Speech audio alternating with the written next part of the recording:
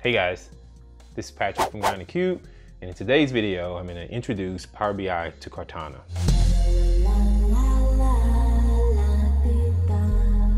It's all started uh, maybe a couple of days ago.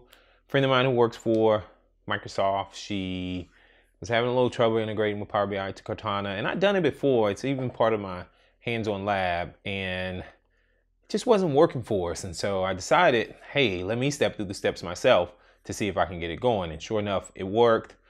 Not quite sure we got it working for her, for her yet, but um, I'll check back with her on Monday. All right, so let me show you how to get this going.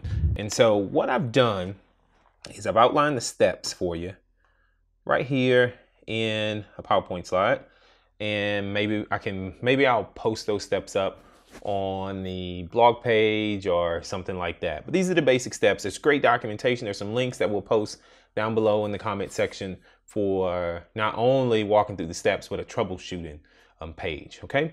So the first thing you need to do is your machine, the laptop that you're connecting from or the desktop, haven't used desktop in a long time, must be running Windows version 15.11 or later. And how you check this is you simply go here and to Cortana, right, to the Cortana bar, and what you do is you say about your PC and you can see it pop up. Once it pops up, you'll see the version of the machine that you're running right there. Make sure it's 1511 or greater. The next thing you want to do is make sure right now it's only supported in the English version, okay? And so you need to go again, click click Cortana here and go to settings and scroll down and you'll see right here it says that, hey, you're running in the Cortana. Cortana is using English United States, and that's the only options that's available. So if you have it set to something else, it's not going to work. So you need to make sure that it's set to English. The next thing you need to do is make sure your Windows and Power BI accounts are connected. So in other words, make sure that the account that you're signing in the Power BI is connected on your PC. And so if you go here, go to settings, quickly, and you'll see accounts, view your accounts, choose um, access work or school and then you'll see the accounts that it's connected to and you'll see I'm connected to my P. LeBlanc at Microsoft.com. All right.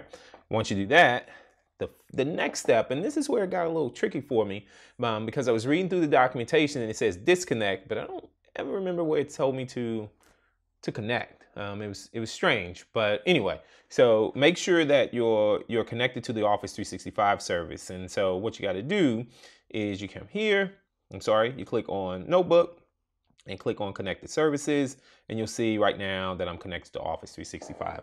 This is crucial. This is pivotal because if that's not connected, and I, you know, I've talked to a couple of people about it, and they're definitely not connected, so it won't work. All right. Once that's done, when you click here where it says Ask Me Anything, you'll see how all this information will pop up in the little Cortana window. If you don't see that information in your Cortana window, it's probably not going to work. All right. So anyway, once that's done, open up the Power BI desktop, add a new page, and click on the format or the little paintbrush or the paint roller, whatever you want to call it. I've heard it called about 3 million different things. Give it a name. I'm going to call mine Guy in the Cube.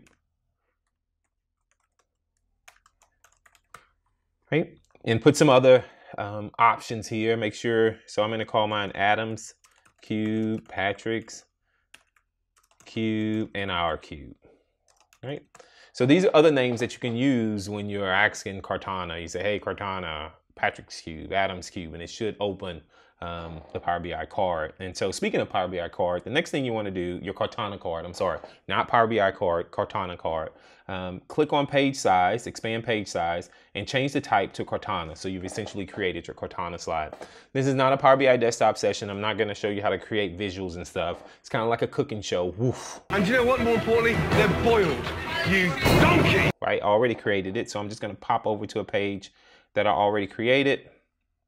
So you can see right here, I've already created a little Cortana card, a little, a little Cortana card, a little Cortana card in Power BI. Um, and so once that's created, you, you should publish this up to the Power BI service.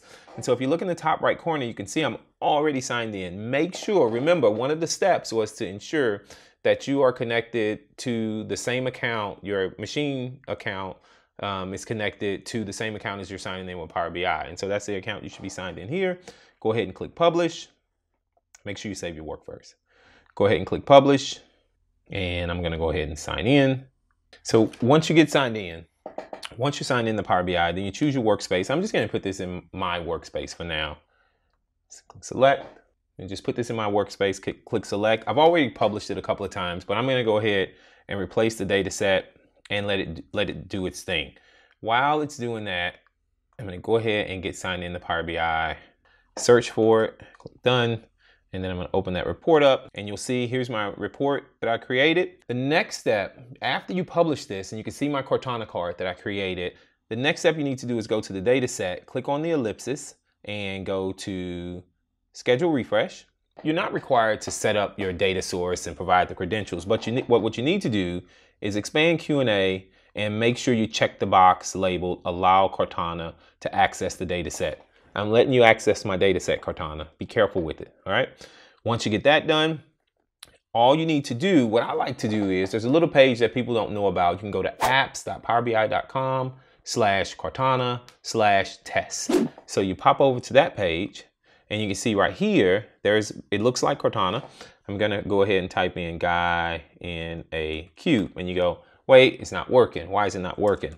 And so it's because it takes a little bit to resolve some things, but I actually have one that's already working.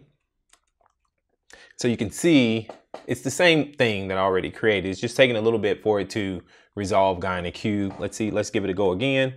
Adams cube, there we go. So it's ready to go. Type in Adams cube, I click it. It's kind of giving me a preview of what it's gonna look like in Cortana. Okay, all I need to do now is go down to Cortana in my taskbar and type Patrick's cube. And voila, there it goes. So it doesn't take very long to get all this configured. You just need to make sure you follow those steps. Step by step by step. Don't skip anything. Um, and it should work just pretty seamlessly. Um, if you guys have a, if you, if I missed something, if I didn't mention something, if you've done this a different way, please post those down in the comments below. If you want more information about this, if I need to talk about designing a or Power BI report, a Power BI Cortana card, please post that in the comments below. If this is your first time visiting, please be sure to subscribe. And if you like this video, definitely give it a like. From Adam and Patrick, Guy in the Cube, I want to say thanks for watching, and I'll see you guys in the next video.